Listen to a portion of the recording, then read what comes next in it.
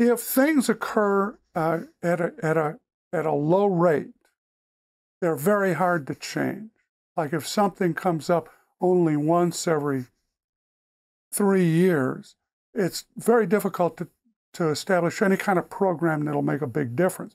But if you can get that behavior at a high rate, then you're you're in a much better chance. Uh, uh, I'm sorry, you're in a much better position to give the kid information about what he's doing wrong, and that every time he does it wrong, it's for the same reason.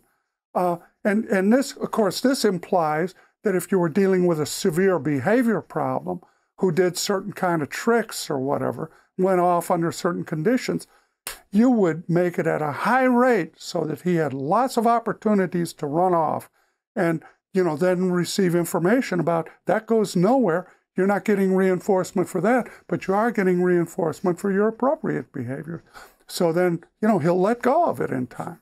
So generally we want to isolate and vivify the things that are going off Absolutely. in order to get feedback that's coming in timely enough to make any change about it. Absolutely yeah. And and and you don't you don't hide from it. So instead of hiding from the mistakes that the corrective reader makes, we bring them all out in the forefront